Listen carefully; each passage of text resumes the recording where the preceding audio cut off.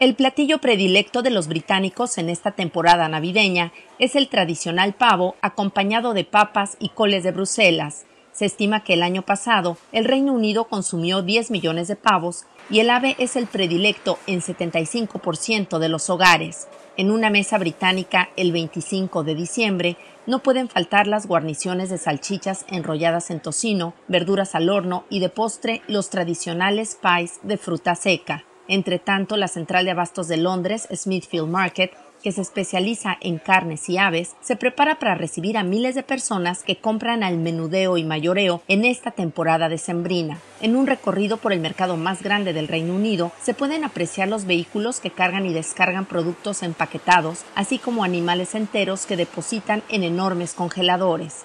El mercado Está abierto de madrugada de lunes a viernes, pero como una excepción abrirá el 24 de diciembre para realizar la tradicional subasta de pavos.